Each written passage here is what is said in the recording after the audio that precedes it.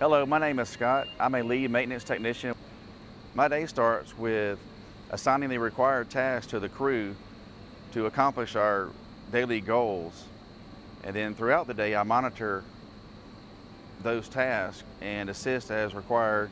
Or some of the tasks that we, we do as maintenance technicians is we remove and replace engines, uh, remove and replace landing gear, we remove and replace flight controls, and after we install these components, we perform ops checks to make sure that they operate correctly.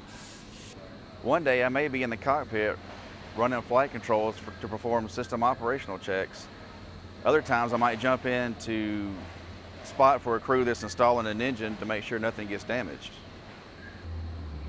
Our hours usually run 10 hours a day, 50 hours a week.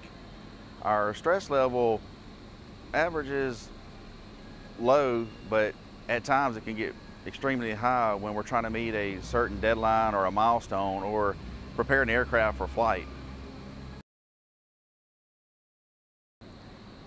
You'll need to start as an aircraft technician and to become an aircraft technician you can go through a two-year school to get your certifications or you can join the military and get your training through them.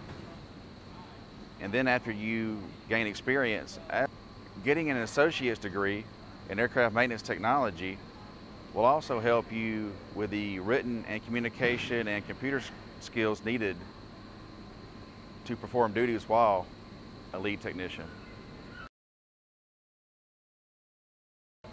The best part of my job is finding a problem that fixed an issue on an aircraft and then watching that aircraft fly away and feel the sense of accomplishment.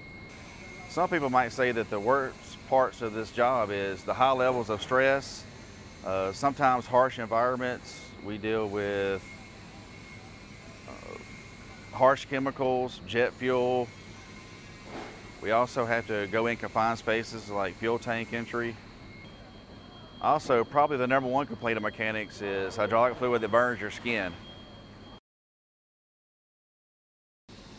If you're in high school and you're interested in, in an aviation career, uh, consider a vocational class that would give you that mechanical background and the foundation that you need. One thing you need to be ready for is that even though an airplane looks clean, it is a dirty job and you will get grease all over you.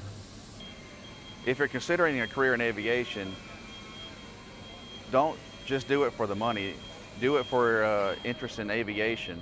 It can be a very rewarding, rewarding career.